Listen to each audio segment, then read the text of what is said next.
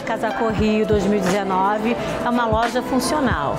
É uma sala que vão ter temas variados a cada semana. São cinco trocas. Começamos com a sala azul, sala carioca. Toda semana vão ser trocados as almofadas, os acessórios, os quadros, só não se troca a persiana.